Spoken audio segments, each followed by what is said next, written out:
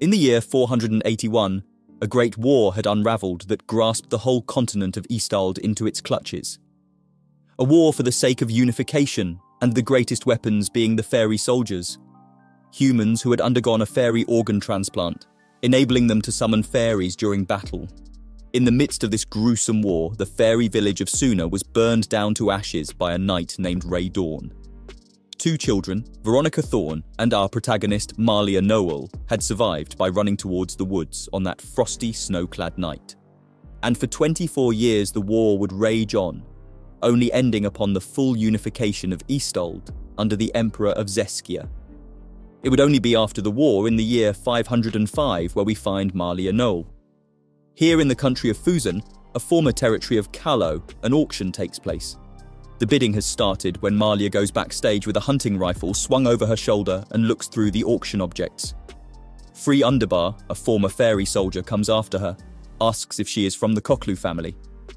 Malia seems to remember a rumour about him being a member of Gui Carlin, a mafia group. Currently, he is head of security. He reminds her to go back to her post to guard.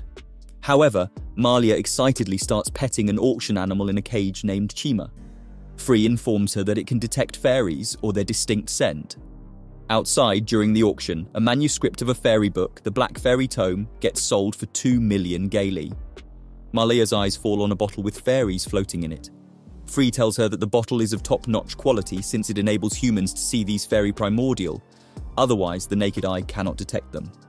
Meanwhile, Chima escapes from its cage. Malia is perplexed and quickly relays that maybe the cage had already been left open, a loud bang interrupts them.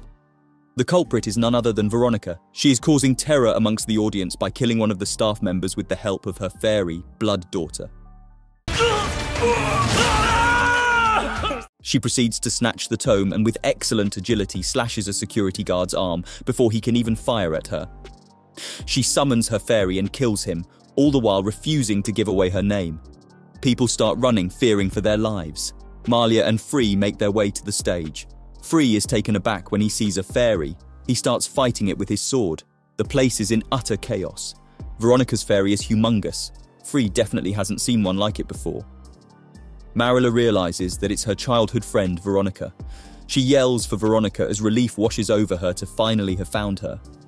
However, Veronica isn't too excited by their encounter and starts fighting Free. He decides to summon his fairy named Red Hood. Malia tries to break their fight, but they don't listen. Veronica makes a run for it, and Malia starts chasing after her in hopes to talk to her, but it's all in vain. Veronica bitterly tells her that she needs to forget her because the girl she knew from her hometown is no more.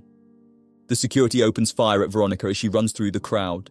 Free tries to yell at them to stop. Veronica once again slashes their arms and kills them. Free is busy getting the crowd to safety. One of the guards starts shooting at Veronica, but Blood Daughter appears in front of her for protection. A bullet hits one of the fairy bottles hanging from the ceiling. Malia jumps into action to save it. The fairy possesses her. She goes into a dreamlike state, and flashbacks begin of her days with Veronica in their village and of that fateful day when Ray Dawn burned it to ashes. Just when it all becomes too overwhelming for Malia, the fairy Ashclad comes to her rescue. She finds herself waking up on the auction floor while Chima stares at her. She's reminded of Veronica and immediately gets up to look for her. Veronica and Free fight under the moonlit sky. She makes a remark about him being an artifact the war has left behind. He is quick to point out about her capturing a fairy and is a threat to humanity.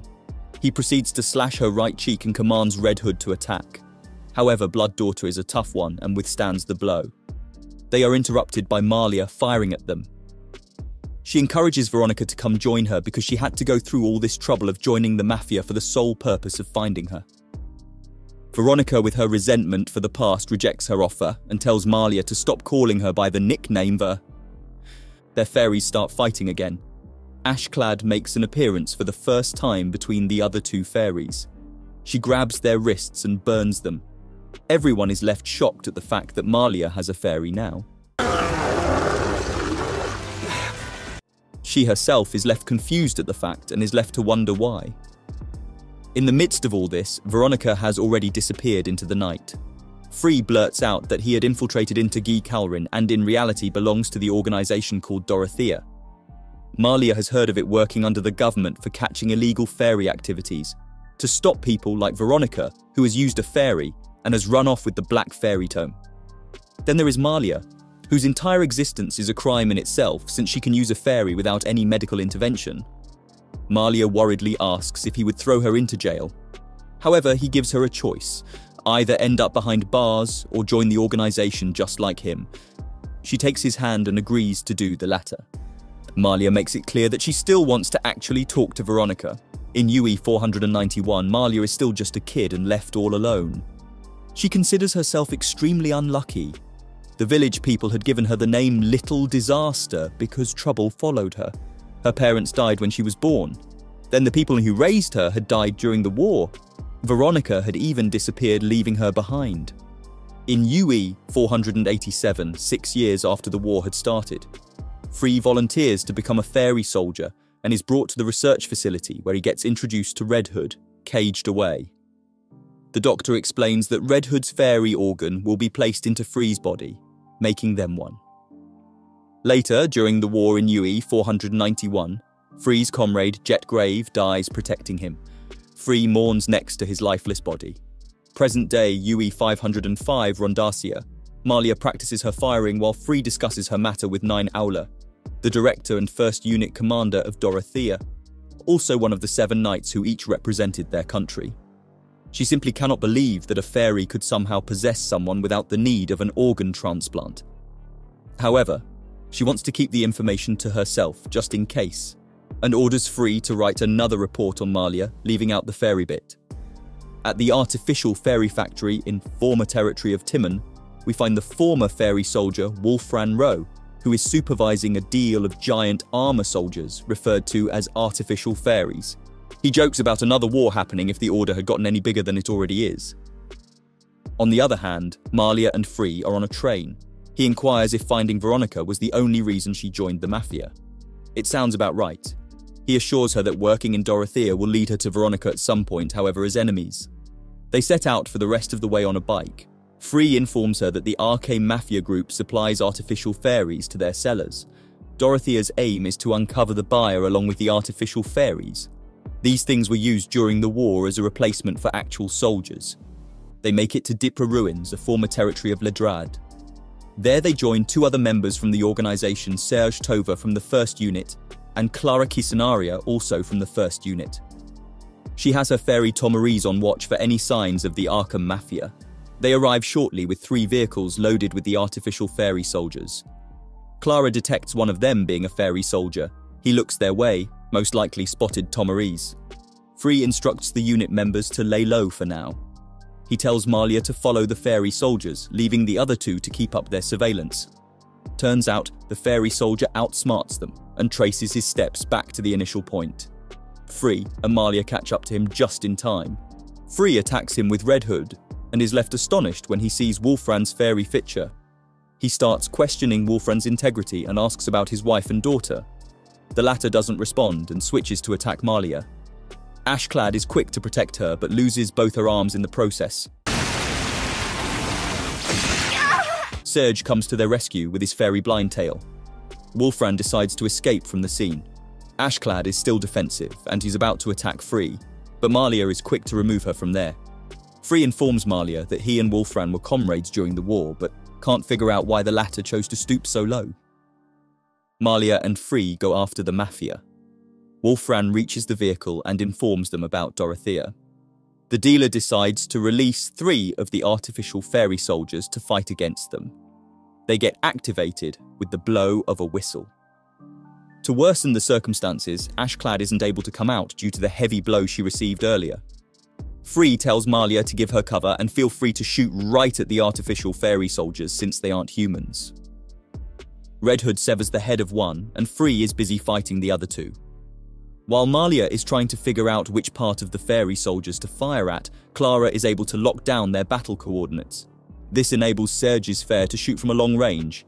It successfully gets rid of the second artificial fairy, Free takes down the last one, and they don't even get the time to catch a break because Wolfran decides to make his entry while standing on top of one of the vehicles. Wolfran shoots the dealer so that he won't cause any problems for him when caught and runs away on another vehicle. Free is able to catch up to it. The vehicle crashes. He runs to get the driver out, only to see him being shot by Wolfran as well. The man takes his last breath after a few seconds. Free sits there, laughing at his once friend's thoroughness. The man didn't leave behind any loose threads, even if it meant taking the lives of those that worked with him. UE 481 Ledrad, during the Great War of Unification, the nations created their own fairy soldiers. They hunted down the fairy imaginals, the creatures themselves, till they almost went extinct. About 300 fairy soldiers were created. They were treated like murder weapons, and they fought with each other till their last breaths. After the war came to an end, according to Unified Zeskia, only 17 fairy soldiers made out alive. During the last days of the Great War in UE 495, Wolfran goes to visit Branhut in Ledrad, where his family resided only to find out that the war had snatched the lives, leaving behind the ruins of their home. He breaks down crying, wondering if it's all retribution. Present day UE 505 Isharat, a former territory of Timoon. Under the ruins of Connor Church graveyard, an underground illegal artificial fairy factory is present. Wolfran meets up with Colonel Bevi Leskar, an agent of war and mercenary. He is one of the seven knights from the Great War. They each represented their country and were given the honour to use a fairy weapon. His reaction to these fairy soldiers is definitely boastful, calling them ugly creatures. He raises a question upon Wolfran's position and belittles him. When Dorothea members go to investigate the place, it has been wiped clean. Nothing is left for them to take into custody. In Rondatia, an arcane mafia member and informant, Axel Laboon is running for his life. He comes to a dead end and gets cornered by Free, Turns out he is the mole who had ratted out Arcane Mafia's transaction. Free lets him get away, but on the condition of looking into Wolfran. At the Unified Ministry of Fairies, Malia and Free have been called to the office of Vice Minister Marco Bellwood. It's about the stolen Black Fairy Tome. Malia questions if the tome exists in any other colour. To this, the Vice Minister gives a brief history about it. He informs them that the term Fairy Tome, when used alone, refers to the certified text published by Alan Bach. The first original text was written by the first fairy scholar Hel S. Bellwood. J. B. Mercer wrote the Blue Fairy Tome. Then there is the Red Fairy Tome by Timothy Connor, White Fairy Tome by Colin Thor, and lastly, Crucia Albastora's Black Fairy Tome. Alan Buck decided to compile them all 200 years ago. Now, the problem is that the text of the Black Fairy Tome isn't present in that certified text, and has been stolen, and it is said that the Black Fairy Tome is on fairy possessions. Since the Ministry of Fairies deals with all sorts of fairy related things, its disappearance is a major concern. The Vice Minister wants them both to visit a fairy scholar named Kane Disterol in Isharat, because he has been able to obtain the Black Fairy Tome. They are walking towards his house when they encounter Sweetie Bittersweet, a businesswoman and Gui Carlin's associate member. Free somehow seems a bit uncomfortable in her presence, he tells Malia that she works for the mafia, but she outright disagrees and calls herself an adventurous businesswoman. Axel watches from afar. Just when he thought stealing the Black Fairy Tome from Kane would be an easy feat, these three make an appearance. Poor guy sure is having a tough time. The trio goes inside to meet Kane. He warmly greets Sweetie. After a bit of small talk, the topic shifts to the Black Fairy Tome. Kane instructs Damien Crane, his late colleague's son, also a scholar, to bring it out. Damien puts a small werewolf like Fae Primordial on display for them. They're all immersed in discussion while Axel is busy climbing the tower to get inside house. He summons his fairy bird named Pillywiggin for distraction and steals the case containing the Black Fairy Tome. Sweetie, Malia, and Free run after him. As soon as the tiny fairy tries to protect Axel, Sweetie chops it in half. Axel starts running wildly, but Sweetie is right behind him. The security force arrives shortly. Free introduces himself and asks them to lend a hand with capturing Axel. Axel finally throws the case towards Sweetie, but it's empty when she opens it. This cunning man has the tome pages in his pocket. The cat and mouse chase resumes yet again. Damien and Veronica watch it all from a balcony. He is amused with the commotion. Unbeknownst to the rest, these two might actually be working together, and with the way Kane helped to set it all up, they sure did make a fool out of the rest. Veronica informs him that Malia might have been fairy possessed. Axel's body is about to give up on him from all the running. While on the other hand, Sweetie hasn't even broken a sweat. Free joins them as well. Sweetie points out how he has become the government's little pet after all the damage it has done during the war. Free isn't phased by her remark. Axel takes this as an opportunity to quickly slip away, but Sweetie shoots him. He throws the pages on the ground between them like meat. Free and Sweetie starts fighting while he finally gets to escape. Malia joins them from a rooftop. She interrupts them by firing the rifle. Sweetie releases her fairy, Skriker. Malia fires at it, but it throws the rifle from her hands, all the while still not moving from its place. Free is taken aback by this while Sweetie stands amused. Free's Fairy Red Hood joins them and starts fighting with Skriker. Free realizes that whatever damage gets done to her fairy is reversed because Red Hood ends up being on the receiving end of his own attack. Malia jumps in the middle of their fight with her fairy. She is still unaware of Skriker's ability. Free tries to stop her, but it's already too late. Ash Clad ends up getting burned instead, causing Malia to fall weak from the intensity of it. Sweetie walks away, leaving behind the black fairy tome pages. Free helps Malia and acknowledges her effort. During the Great War, when Ray Dawn ordered Fasuna to be burned to ashes, he made sure to get rid of the two fleeing girls by ordering his soldiers to set the forest aflame. Veronica had told Malia to run away while she distracted the soldiers, assuring little Malia that since she is a fast runner, they won't be able to catch her. That was the last time Malia saw her. Well, of course, until the auction night. Present day UE 505 at Kane's house, Malia sleeps while dreaming about her childhood days with Veronica. The latter stands outside the door but decides not to go inside. Free goes out looking for clues from the previous night. He only finds a button in a puddle of blood. The blood is Axel's, but the button isn't. It might belong to the person that carried the injured man back to safety.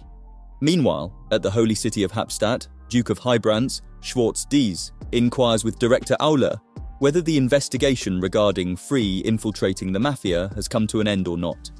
He wants her to drop the formality of calling him Duke since they were once subordinates, and that if it were him, he wouldn't hide a thing. She tells him that she will be giving the report to the government and that at the end of the day, she is only doing her job. Later during the day, Sweetie gives Patricia Pearl, a Gui Carlin mafia member, the task to steal the Black Fairy Tome for her. Malia is finally able to wake up. Free wants her to take things easy. She inquires about the Black Fairy Tome. Free thinks it might be a fake one, unless the Ministry of Fairies confirms it, but a lot of fake ones have been circulating due to its rarity and importance. It must have been portrayed the same way at the auction. Veronica did steal it, but there were no break in details. So Veronica could be at the place where the Black Fairy Tome was found, because she was the last person to take it. Malia hopes that maybe the scholars might know about her whereabouts. They confront the scholars about it, but they hesitantly relay that they won't be able to disclose any information, and they definitely do not know about any Veronica. Afterwards, Free and Malia make a stop to eat some lunch. Malia tells Free that the scholars seem to have lied to them, but Free dismisses her opinion, saying that they could have been in a tight spot to reveal anything. Patricia and Jonathan Paspierre, also a Gui Carlin member, sit at a table across from theirs, acting like some strange chatty couple and successfully steal the briefcase with the tome papers from Free. The latter realizes that they have been tricked a few seconds after Jonathan suddenly disappears from his chair. Yet again, another pursuit begins. They end up at an old, abandoned church. Some stairs lead them down to an underground chamber. The candle lit passages are filled with empty liquor bottles and dead bodies. The duo gets attacked with gunshots. Free orders Malia to hide in a coffin while he goes after the thieves. Free is still puzzled at the fact that the two didn't run away from the scene after stealing the tome. Why are they trying to lure him in, or could he be the target? Just as the thought clicks, Patricia attacks him. Malia gets out of the coffin, but Jonathan is already waiting for her. He lights a candle. She starts shooting, but since she is surrounded by the dead bodies, it is difficult for her to aim at him. Malia thinks back to her childhood how unlucky she was. She had envied Veronica for being surrounded by people and laughter, while she had nobody. Jonathan's voice keeps echoing as he talks about capturing Malia to use her as bait in case Free becomes too dangerous. He starts attacking her, but Malia starts running towards the opening of the chamber. While climbing up the stairs, Jonathan calls himself an artist. Malia realizes that she is only running and decides to take aim, but he is already at her feet. Jonathan calls pain a blessing as he stabs her. His sinister, wide eyed stare makes him quite creepy. Malia painfully tries to drag herself away from him. She is still unable to summon her fairy, Jonathan takes slow, predatory steps towards her and sadistically continues talking about his ideology of understanding her more by giving her pain. Suddenly, a loud crash through the church window interrupts them. Malia's saviour makes quite the entrance. It's Veronica in the flesh. In UE 491, Malia was still living with her adoptive parents called the Jurgens. On a cold, windy night, while walking with Mr. Jurgen, she mustered up the courage to ask if she was to blame for her father's death. He vaguely replied that some might think that way. Then she inquired about her mother. Mr. Jurgen monotonously relays that she wouldn't be the first to die during childbirth and assures Malia that she isn't a little disaster like everyone calls her. During UE 493 Fusan, Veronica lies on the cold, hard ground thinking how the war had snatched away everything she had ever known. In UE 497 Suna, Malia looks for Veronica anywhere and everywhere. Then, during the same year, in Tubal, capital of the former territory of Kilo, the new Duke, Ray Dawn, meets the awaiting crowd. The citizens are impressed by his humble and kind demeanour. Veronica is amongst the people in the crowd with a loaded gun, ready to shoot Ray Dawn for burning down Suna. One of the guards is about to shoot her, but Ray Dawn intervenes and stops her with his fairy's power. A few months later, Malia is still looking for her, while Veronica lies on the hard floor inside a house. She feels numb with vengeance on her mind. Back to the present day, Veronica starts fighting Jonathan. He summons his fairy Jenny Hanover. Jonathan fills it with knives, it swells up and releases them on Veronica. on the other hand, Patricia's fairy Boneless is busy swallowing up Red Hood. Patricia is quick on her feet and quite agile. She effortlessly attacks Free. He's impressed with her moves. Then there is Jonathan, with tricks up his sleeve. First, he hides inside his fairy and then fills it up with oil. It bursts and he lights up a matchstick and sets a ring of fire around Veronica. Free's had enough. He pushes Patricia back with so much force that it breaks both of her swords. He angrily warns Red Hood to get back into his senses. Patricia hides behind a pillar, loading ammunition. Jonathan swings from a chandelier like a madman. His fairy gets filled with oil again and he lights up the match. This time, Veronica's clock also gets burned. Malia watches from afar, yearning to help Veronica somehow. She gathers up all her remaining strength to summon her fairy. Ashclad successfully makes an appearance. She throws fire at Jonathan. He is wonderstruck by her. She goes back as Malia's legs give out. Veronica runs towards her and helps her get out. In the underground chamber, Patricia is trying to shoot Red Hood, but he throws the rifle away from her.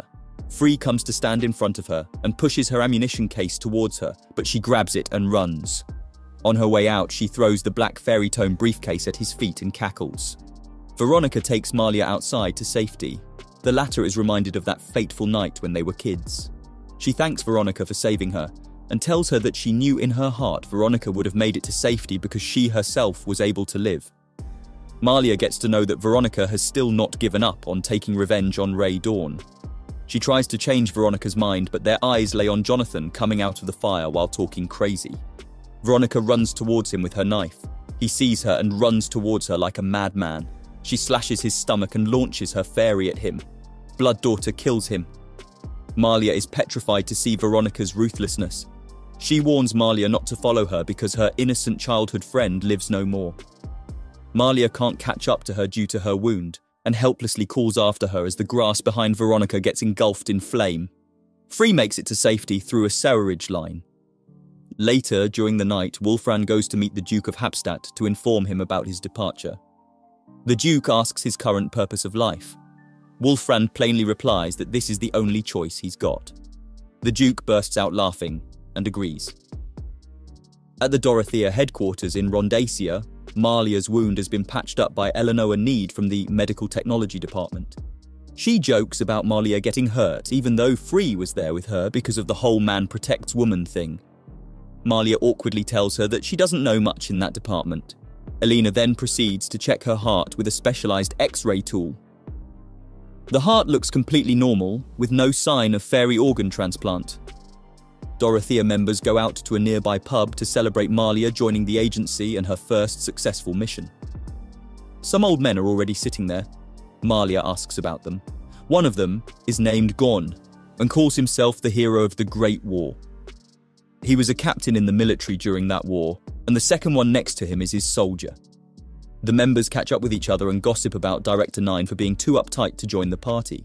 However, Clara disagrees and tells them that she owes her life to 9. Gunn brings them a wine bottle to celebrate the members' security duty for the upcoming end of war anniversary ceremony. Just like that, their night comes to an end. In UE 496, at Rondasia Palace, in unified Zeskia, when the war ended, the king of Sidal, Golban Helways, gave up his crown to the Emperor Castal Harel and became the prime minister the following year. Five other men were given territory for playing an exceptional role in the war. They are now referred to as the Five Dukes. Unfortunately, the system didn't prosper for long because Patrick Starry, the Duke of Widonia, was caught conspiring the Prime Minister's death. He ended up taking his life by drinking poison before his trial could even take place. Then, there was the Duke of Nova Ewan Breeze. A rumour about him causing a rebellion made him so furious that he actually decided to start one. He was one of the seven knights and died while fighting. Then the Duke of Litrock, Umer Chujuman. This man revolted against the Prime Minister because of his own paranoia and ended up getting his head cut off. Gon tells Malia that instead of the dukes getting all the glory, the ones on the front line like themselves should have received some recognition. Now, only seven days remained for the 10th anniversary of the war ending. Only two dukes remained. Maybe they will have a face-off soon. At the Hybran's official residence, Ray Dawn comes to meet Schwartz Dies. They greet each other and seem to be on good terms. Inside the Dorothea HQ, a man is locked behind bars for pretending to have a fairy primordial. He claims that it was only to earn some money. Robert Chase and Osmare from Dorothea spot an artificial fairy soldier outside a shop. They go inside to talk to the salesman because it's illegal to have any if they happen to be original products. Free and Malia are walking down a street with Chima. They walk past the Zern 1 artificial fairy, a new model introduced to provide security for the 10th anniversary ceremony. Chima suddenly starts running back, it stops in front of the new model of artificial fairies. One of them seems to have malfunctioned and is about to attack a woman and her little girl. At a corner further away, a man hides while blowing another whistle to control the artificial fairy and cheekily runs away. Later, Free and Malia visit Griff Mercer from the Ministry of Fairies to see what had caused the artificial fairy to malfunction. They are told by the military mechanic Hans Efmed that Griff is the assistant of the Vice Minister. Griff informs them that nothing seems to be wrong with the artificial fairy, but of course the higher ups won't like this explanation. At the Dorothea HQ, Free and Malia are informed by Director 9 that the black fairy tome which they secured is indeed a fake one. However, this time it might be the real deal. For this new mission, she decides to send Malia with Clara to Escreque, a former territory of Cinquenge. They go inside a shady looking bar to meet Buzz the informant. He already has been paid by the organisation, but he demands for money in exchange for information regarding the Black Fairy Tome. Suddenly, his men attack Malia and Clara from behind, but they swiftly block their attack. Before Buzz can even fire at them, they both already have a knife against his throat. He gets frightened and spurts out that this was all merely a joke, Robert and Free interrogate the man whose command the artificial fairy failed to obey. He is still unable to figure out what could have possibly gone wrong. Back at the bar, Buzz becomes all obedient and polite. He arranges a vehicle for the ladies. It turns out to be a cruiser motorbike. Buzz informs them that at an auction, the Black Fairy Tome was sold to a well known agent named Dice. This particular Black Fairy Tome is called the Black Four. The duo spots him getting into a vehicle, they decide to follow. Damien peeks from a corner, looks like he has already heard the rumour and has also arrived. Dice goes inside the train station. They follow him while keeping a distance. He gets on a train. They are able to catch up to him the last minute. Veronica is already at the ticket counter as well. Gui Carlin must have heard the news about it as well. However, to her dismay, the train leaves before she can board it. Damien watches her leave the station. Inside the train, they search each cabin but fail to spot him. They decide to check the freight car on the next stop just in case. As the train moves towards the next destination, Malia asks Clara how she joined the organisation. She tells Malia that she volunteered after her entire family got killed during the war. Director 9 had arrived just in time to rescue her from the filthy hands of some soldiers. At the next stop, there is no sign of him inside the freight car. They hurriedly start looking around. Malia is able to spot his briefcase. They start chasing him, but he hides behind a wall thinking he escaped from them and starts walking like nothing happened. Malia holds the rifle to his back, making him stop in his track. At the Dorothea headquarters, Robert and Free start interrogating him, but he refuses to talk, even though the Black Four wasn't found in his briefcase. Malia points out that since he is an agent, he must have bought it for someone. Later, Malia asks Free about the malfunctioned artificial fairy, but nothing out of the ordinary has been found. Axel shows up out of the blue. He tells them that he would like to lend a hand with anything if needed. They take him to Dice. He recognizes him and informs them that he's rumored to work for a man named Gilbert Warlock. Sweetie, like always, is two steps ahead and has already reached his place. Present day UE 505 at the Heavenly Gate Plaza in Rondacia, Osmer makes his way out of the gate. The man starts playing the flute again and more fairies malfunction. Sweetie meets Gilbert. He happens to be one of the four executives of the Gui Carlin Mafia Group. She wants them to discuss matters over a drink, but he declines, saying that he doesn't drink anymore. Sweetie cuts to the chase and asks him about the Black Four which he bought at the auction. She reminds him about the last time she had presented him with the Black Three, so this time she wants to be on the receiving end. He turns her down and tells his butler to see her out. Sweetie, being Sweetie, isn't about to give up so soon. A discussion about the malfunctioning artificial fairies takes place. Yakim Set, the Minister of the Ministry of Fairies wants to take custody of the ones not working properly in order to thoroughly examine them. However, Bruno Boehmer from the Ministry of Military disagrees. His point is that no matter what, these artificial fairies belong to the military. Marco Bellwood, the Vice Minister of the Ministry of Fairies, points out that it's their duty to look into fairy related matters. Bruno retorts that the duty of the military is to maintain the peace of unified Zeskia Nine sits listening to them going on about their duties, thinking they should be working together. Inside the investigation room at Dorothea HQ, Dice is still being interrogated. Robert wants him to confess about buying the Black Fairy tome at the auction for Gilbert Warlock, but the man doesn't budge. The members ponder over the use of some sort of interrogation technique to get Dice talking. Serge suggests they barge into the Warlock residence and confiscate the tome. The idea does sound appealing, but Free reminds him that Gilbert is not only rich, he has connections with Gui Carlin. They have to be careful. Only three days remain till the end of the war's anniversary ceremony. At the Hybran's official residence, Schwartz has called Nine to put in a good word for the Minister of Military at the Ministry of Fairies. She tells them that Dorothea isn't taking any sides. Axel is happily eating when Sweetie shows up, asking him for a favour, he quickly reminds her that the last time they crossed paths, she shot him, and besides, they work with different mafias. Sweetie tells that since he is already on good terms with Dorothea, she wants him to leak information regarding the Black Four of the Black Fairy Tome. Dorothea members are told to go to the East End base because the Ministry of Fairies tech team has entered the military base to examine the malfunctioned artificial fairies. The whole thing has become political. Now, Dorothea has to get involved to supervise. At Unified Zeskia's Prime Minister Helwis's residence, Director 9 informs him about the Ministry of Fairies visiting the base for the examination. She advises him to keep the new model of artificial fairies out of the anniversary ceremony. Helwis wants her to put the king at ease. At the base, the artificial fairy is synchronized with its operator to set its orientation. Hans tells them that only the synced operator can control it.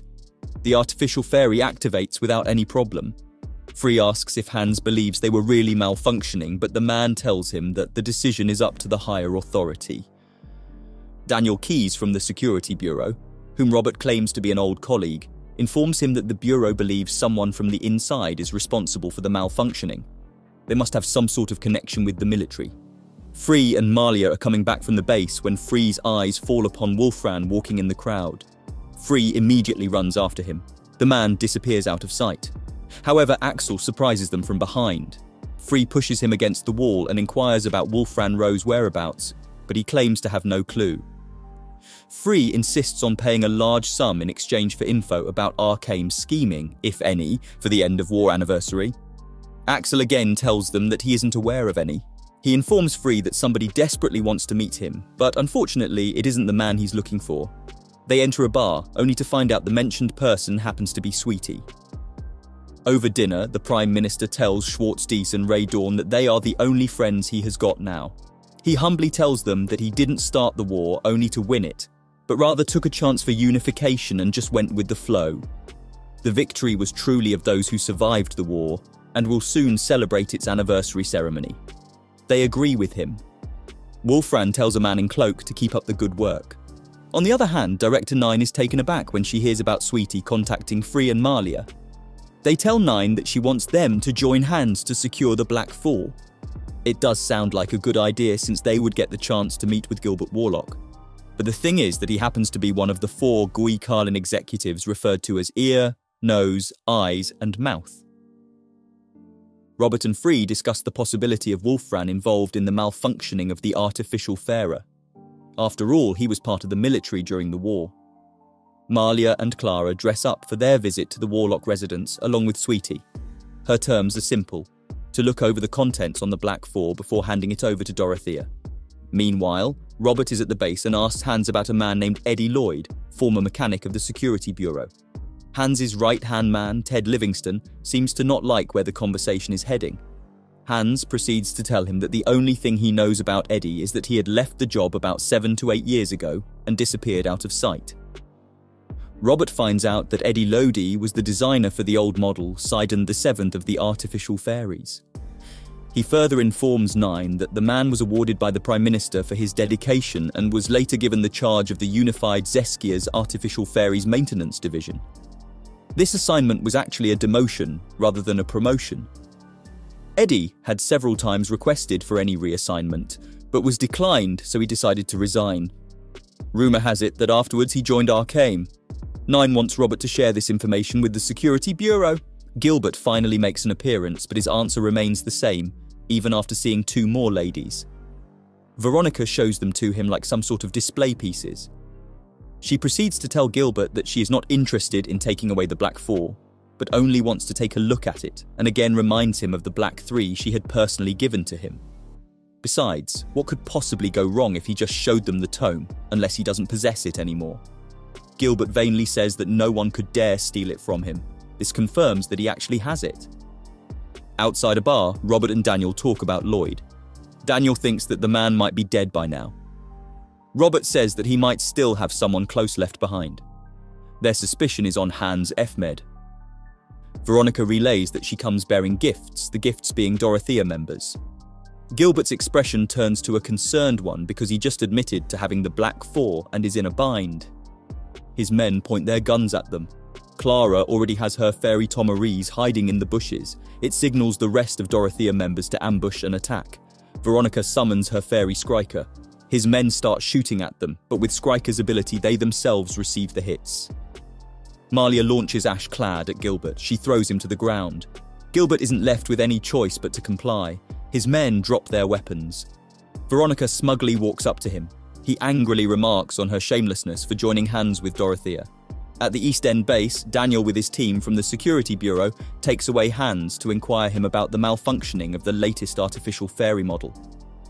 At the Warlock residence, the Dorothea members have stormed in and started their search, while Gilbert walks the women through an underground passage.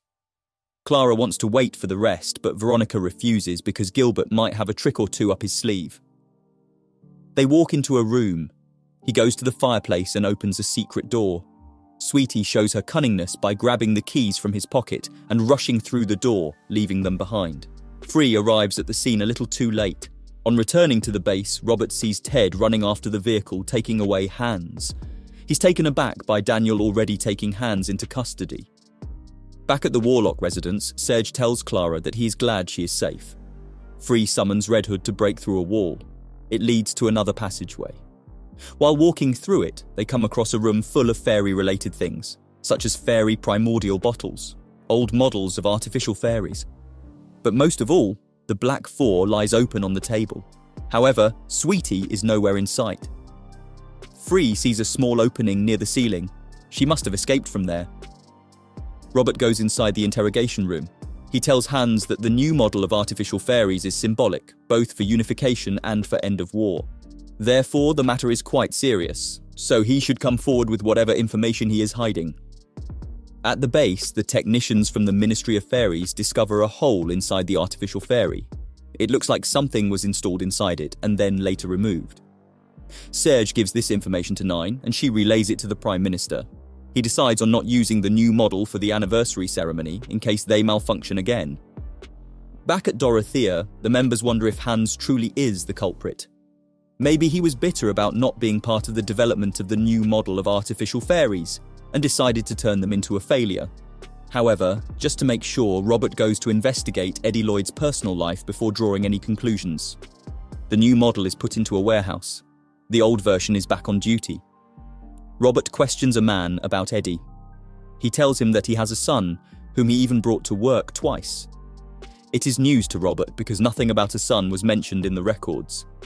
It's D Day, the end of war anniversary, has finally arrived. Ted also shows up at the celebration.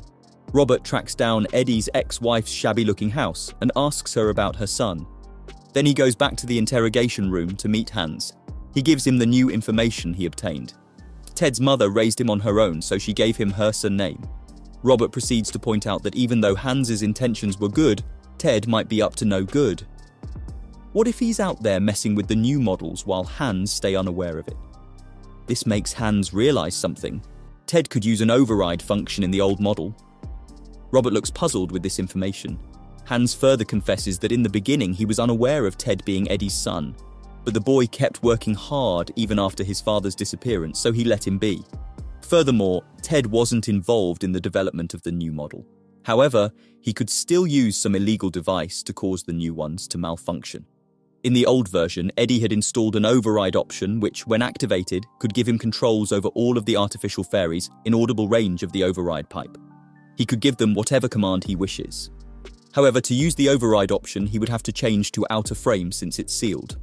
He thought only Eddie knew how to do it, since the man was given shelter by Arcane, so this means that Arcane is going to cause trouble once again.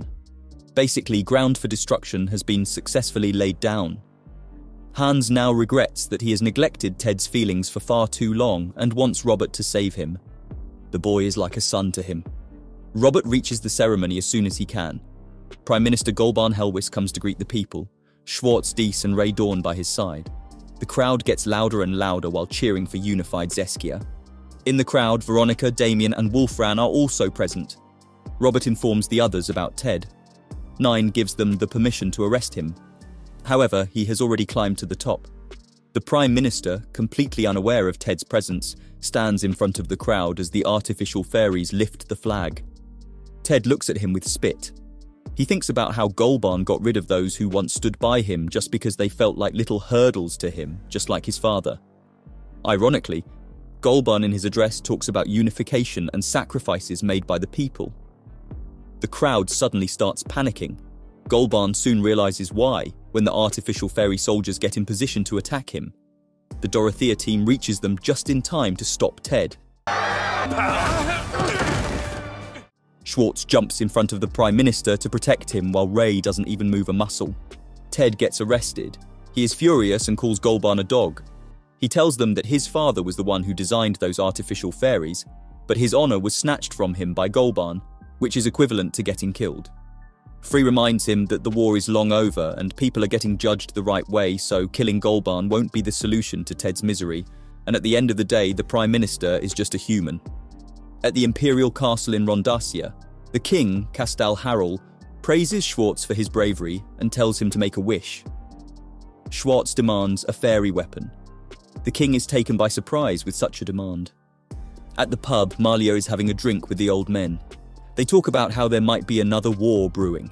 This time, it might be between Hybrants and Callow. At Callow residence, Wolfran informs Ray Dawn about Schwartz Dies's skimming. At his residence, Prime Minister Helwis informs Nine Orla and Marco Bellwood that the fairy minister named Set will take responsibility for the incident during the ceremony, and the position will go to Vice Minister Bellwood. Furthermore, Duke of Hybrands has requested for a fairy weapon as a reward from the king, and since the Duke of Callow is one of the Seven Knights and already has one, they need to balance it out. Helwis wants Bellwood to take out the fairy weapon from the vault and have Dorothea transport it. Nine can already sense more trouble brewing but doesn't mention it. At the Ministry of Fairies, the Deputy Commissioner Glyph Mercer takes Malia and Free to the vault where the fairy weapons are kept. The seven knights were given a fairy weapon during the War of Unification. The weapons are stored inside glass cases. They have killed many fairies during the war. These fairy weapons have their own names Pain Sealer, Fraternil, Verosteal, Aliadra. These four remain in their cases under strict security, while Sororius is with Ray Dawn. Free informs Malia that Nines is Aliadra. She had heard the rumour that a woman is one of the knights, but didn't know about Nine. Mercer asks about Vera steel belonging to Free.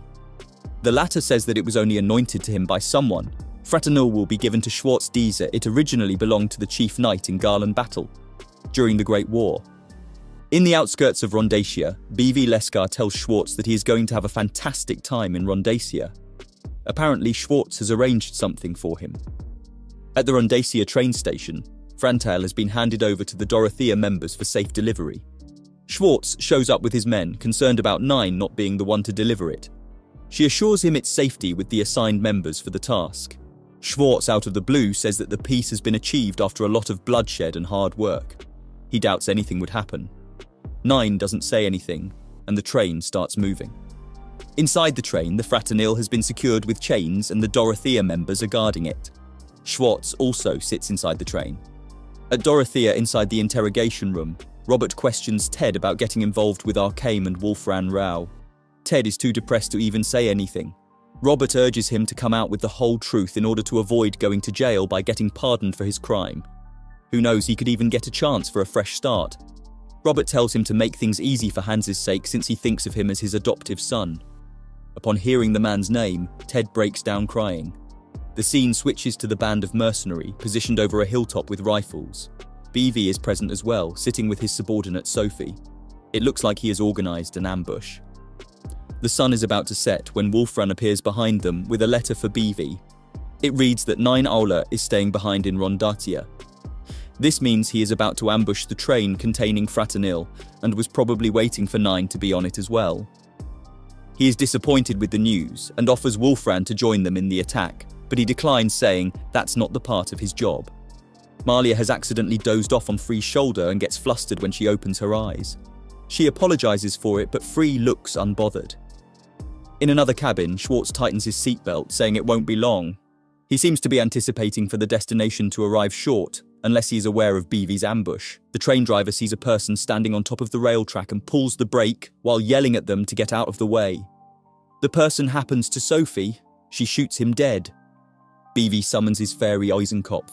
It attacks the train with so much force that it gets derailed and topples to the ground. Flashbacks of a man named Victor starts playing in Malia's head. The way he carried her home while she was sick and afterwards shows her how to hunt with a rifle. Later, she takes care of him in sickness and buries him after his death. She wonders if it happened because she is a cursed child. As soon as Malia opens her eyes, Free tells her that they are under attack. They take cover behind the train with the rest. Free knows that the enemy is after the Fraternil and tells them to make it their top priority. Oz volunteers to go get it. Free and Malia provide cover. As they're about to turn, Free sees BV and worriedly tells them that he is one of the Seven Knights.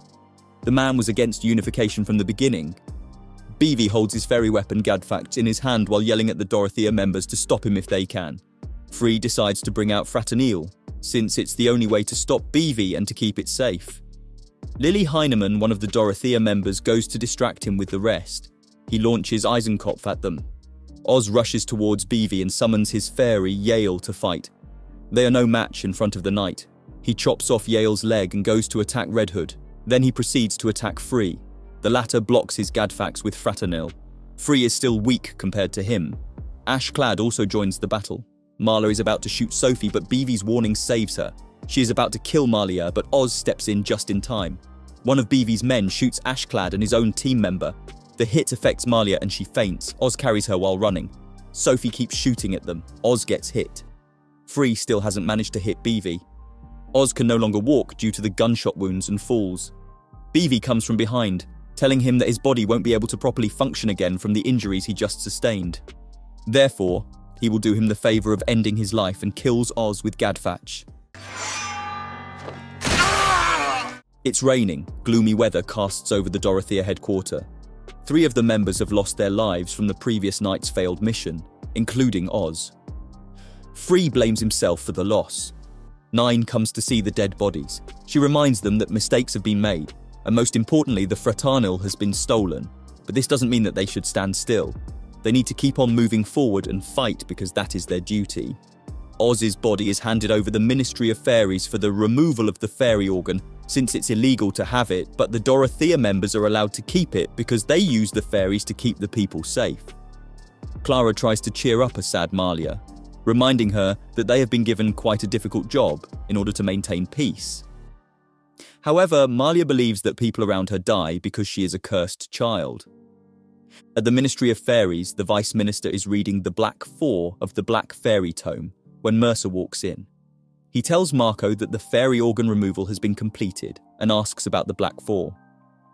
Marco tells him that it is definitely complicated to understand and people like Gui Carlin would simply not have been able to even comprehend it.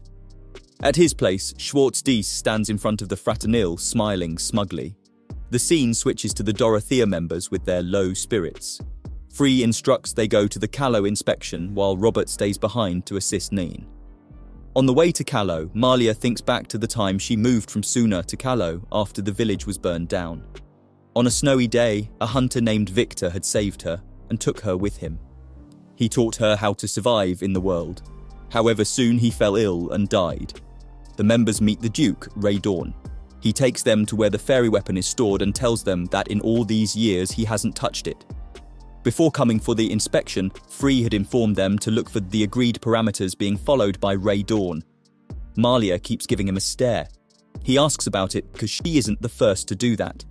Malia nonchalantly asks the reason to which Ray Dawn replies that ever since the unification, some have been calling him a traitor. The Dorothea members are eating when Malia requests to visit someone in the city. Free tells her it can be arranged if nothing else happens. Later at night, he wonders how every time he gets to be the one to survive, thinking about Jet dying during the Unification War and now Oz. At the Biakali residence, Jingle, the head of the Biakali mafia group, is hurriedly informed by his subordinate Dikidoro Diki about Malia's arrival. Jingle rushes to meet her and greets her like family. She tells them that a lot has happened since she left, such as joining Dorothea, meeting Veronica, even though the woman told her not to contact her ever again she even shows her gratitude for when he appointed her as his bodyguard even though she wasn't qualified for the position. They gladly listen to all that she has to say. Serge and Clara had sneakily followed Malia to the Biaclay residence and wonders her connection to him. On the other hand, at Hapstadt, Dieza is practicing how to wield the Fraternil. This man is definitely up to no good. At the Dorothea HQ, on further interrogation of Ted, it has been revealed that Wolfran Rowe had frequently met him and Arcane even provided him with the interrupt device for the new model. Nine wonders what BV is up to because that man is a fan of war. Free joins Serge and Clara. He decides to go inside. In no time, the room gets crowded with the three also joining them. Jingle is taken aback when Free tells him that they dropped by just to say hello. He further says that since he was the one who made Malia join Dorothea, he is responsible for her. Jingle gets upset and utters that Free doesn't look like a determined man nor does he appear to be brave. Moreover, at Biakle, everyone is like a big family, and Malia is like a granddaughter to him. How can he entrust her to someone coward like Free? The latter tells him that even though he may be a coward, but he is capable of protecting her, and even though they are not a family at Dorothea, but they are definitely comrades and look out for each other. Malia is reminded of Oz's face as he died. She still thinks people are dying because of her, Free gets all sentimental and goes down on one knee, requesting Malia to stay and reminds her of her goal when she first joined Dorothea. Later, sometime during the day, Dicky tells Jingle that Malia has a fairy now. They can somehow get her out of Dorothea. Jingle disagrees, telling him to let her be. She has finally made friends and her wish to stay with them should be respected. Plus, Free seems like a brave man. At the Imperial Embassy, the ambassador of unified government is woken up from his night slumber. Tens of arcane vehicles enter the place. They are loaded with artificial fairies. One of the workers activates them with the pipe. The ambassador is tied up and ordered to leave the country because Hybrance is no more part of the unification, but a sovereign state. Schwartz has called for a rebellion. Dorothea gets the news about Schwartz's revolt. They set into motion. The Prime Minister is angry to say the least. Most of all, he feels betrayed. Duke of Hybrands had used him. No one suspected a thing, and everything went according to Schwartz's plan.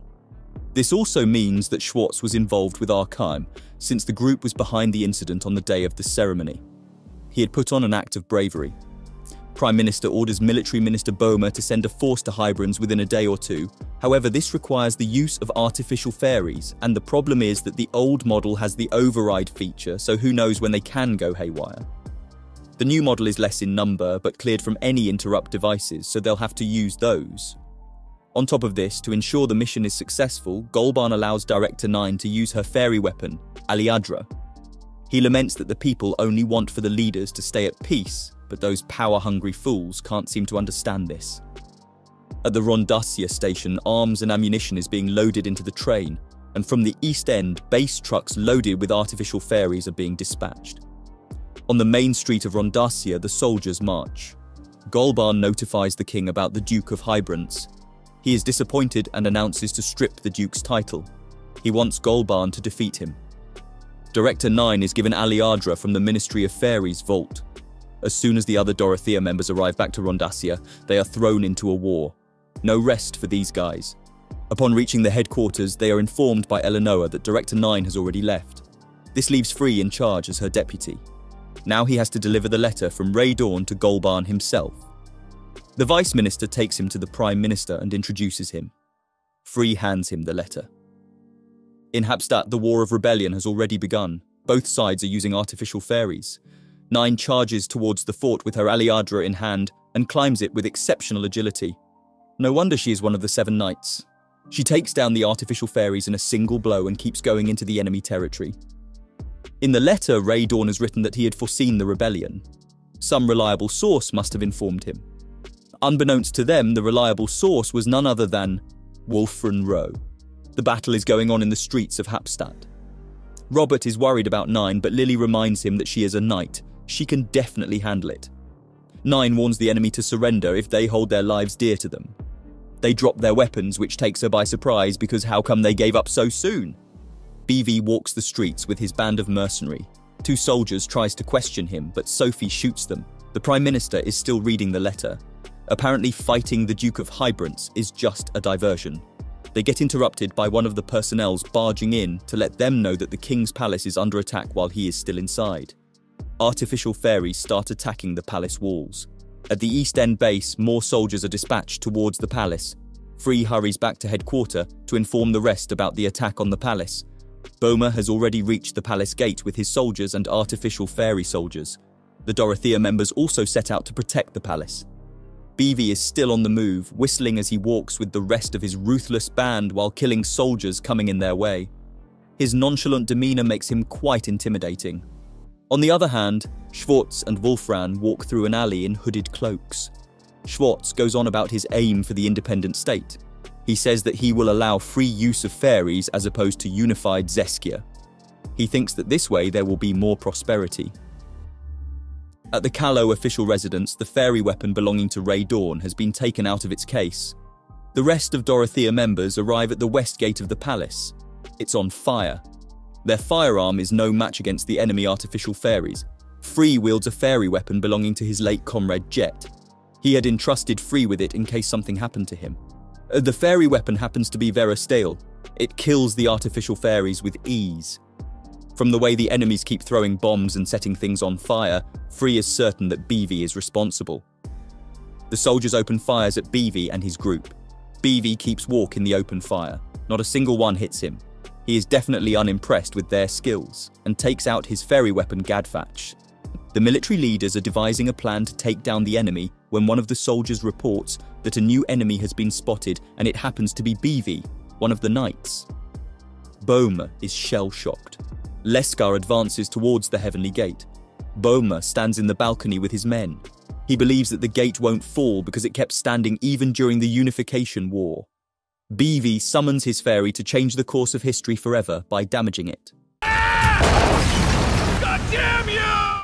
BV keeps advancing towards them, but yet again the soldiers keep missing every single shot fired at him. How is this even possible? Boehmer is still in disbelief about the Heavenly Gate getting damaged. He comes to his senses and orders his men to kill all the traitors. The minister can't stand watching anymore and decides to sort things out himself. Free Malia, Serge, and Clara make it there. The place is in shambles. BV Leskar kills the soldiers while belittling them, calling them mere pebbles and dirt. While going after him, they see lifeless bodies of soldiers scattered in every direction. Military Minister Boehmer offers them to join him, Wolfran and Schwartz are walking through an underground passage when the latter starts reminiscing about the time Prime Minister Golban was still the king of Sidal. He had carried out an invasion on Tamoon as ordered by the Emperor. It was during UE 481 when Wolfran was still just a child, and Schwartz himself had newly joined the military. He thought it was crazy, and maybe the order was fabricated, However, Wolfran then recounts that during the Battle of Garland, the Knight of Sidal took away the Emperor from his imperial capital, Masria, which was under Ledrad's control at that time. This changed the course of history because Ledrad always had the unwavering power by manipulating the king. However, the minister, Golban, overturned this by taking the emperor into his hands. Schwartz Diezel really thought that after the unification, Golban would try to take the emperor's seat, but it never happened. BV has made it inside the building and his fairy Eisenkopf is on a rampage creating havoc, killing soldiers left and right. His men also kill ruthlessly, though an artificial fairy kills one of them. Meanwhile, Boehmer takes the four of Dorothea members through a secret passage. It leads them to a room that is right on top of where the enemies are located. A soldier reports to Boehmer that backup has arrived for the West Gate. The backup turned out to be the Prime Minister himself along with his men, the mercenaries have taken cover while the soldiers waste their ammunition on them. BV is enjoying it immensely and reminisces about the time during the War of Unification. After a moment's rest, he jumps into action. He swiftly runs through the army of soldiers, killing them with his fairy weapon. He summons his fairy, which causes even more casualties, both to soldiers and artificial fairies. BV tells the soldiers to truly fight with all their might. Malia is running to get to BV, she thinks to herself about people fighting to the extent of death. She can't grasp the thought of going as far as that and finds it all so frightening. She musters up the courage to not run away because BV needs to pay the price for Oz's death. Tomarise, Clara's fairy, monitors the situation from inside. Upon Clara's signal, the soldiers and Dorothea members charge towards BV and his gang. Free lunges forward him with Vera Steel in his hand.